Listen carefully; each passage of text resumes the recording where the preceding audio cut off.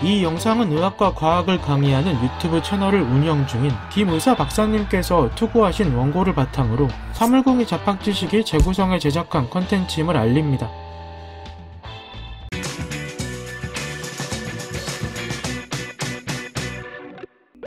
턱을 때려보거나 맞아본 적이 없다고 하더라도 주제와 관련한 내용을 많은 사람이 알고 있습니다. 복싱 등의 격투 스포츠 또는 영화나 애니메이션 등에서 봤기 때문인데 물론 정말 세게 맞는다면 어느 부위를 맞든 기절할 수 있습니다. 그런데 턱은 살짝만 툭 쳐도 큰 타격을 받는 모습을 보이기에 주제에 의문이 생깁니다.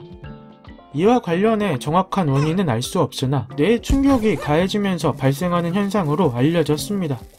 턱을 맞는 순간에 뇌를 실시간으로 촬영할 수 있다면 명확히 알 수 있겠으나 한계가 있으므로 정설로 통하는 내용을 알아보려고 합니다. 우리 몸에 중요하지 않은 장기는 없으나 뇌는 개 중에서도 특히 중요하다고 할 수 있는 장기입니다. 뇌는 조직이 매우 연약해서 두부와 비슷한 정도의 단단함을 지니고 있는데 매우 두껍고 단단한 통뼈로 되어 있는 두개골이 뇌를 둘러싸서 보호해주고 있으므로 안전합니다. 이뿐만 아니라 두개골 속에는 경막과 거미막 연질막이라고 하는 세 겹의 내막이 존재하여 뇌를 추가로 보호해주고 있습니다. 참고로 경질막은 세 겹의 막 중 가장 두꺼운 데다가 매우 질기고 단단해서 손으로 찢으려고 해도 찢기 어렵습니다. 이게 끝이 아닙니다. 뇌와 척수를 둘러싼 연질막과 거미막 사이에는 공간이 있는데 이 공간에는 뇌척수액이라는 액체가 차 있습니다. 뇌척수에게는 여러 기능이 있으나 그 중에 하나가 머리에 가해지는 충격을 흡수해 뇌를 보호해주는 기능입니다. 이처럼 뇌는 두개골과 세겹의 내막, 뇌척수액 등이 보호해주고 있으므로 웬만한 외부 충격에는 안전합니다. 그런데 문제가 있습니다. 외부에서 가해지는 직접적인 충격은 잘 보호해줄 수 있어도 관성에 의한 뇌 손상은 잘 보호해주지 못한다는 겁니다.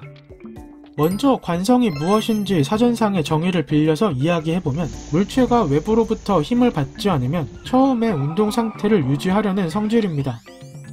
이해하기 쉽게 버스 손잡이를 잡고 서 있는 상황을 떠올려 보길 바랍니다. 버스가 갑자기 출발하면 손잡이와 몸이 뒤로 쏠리고 버스가 갑자기 멈추면 손잡이와 몸이 앞으로 쏠리게 됩니다. 이는 관성 때문으로 해당 내용을 두개골과 뇌로 바꿔 생각해보면 이해가 쉽습니다.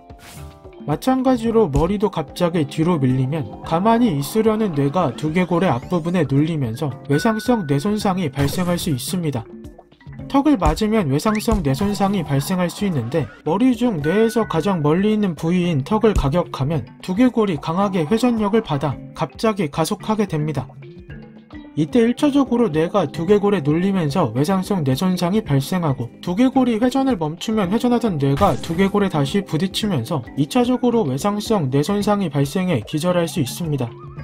그리고 두개골을 잘 살펴보면 아래턱뼈가 분리형으로 되어 있어서 턱을 때리면 아래턱뼈가 턱관절에서 분리되는 힘도 가해집니다. 턱관절 주위에는 여러 신경이 지나가고 있어서 이러한 신경들에도 충격이 가해져 기절하기 쉽습니다. 그래서 격투기 선수들은 마우스 가드라는 것을 착용합니다.